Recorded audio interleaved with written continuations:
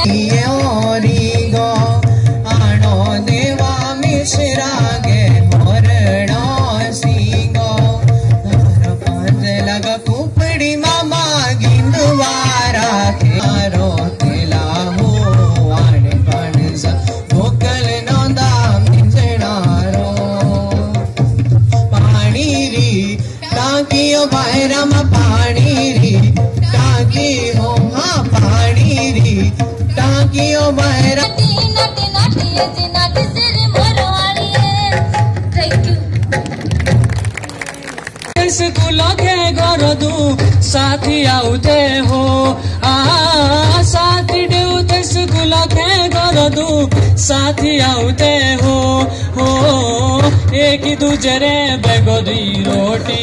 चोरियो हो देखो हाय हाय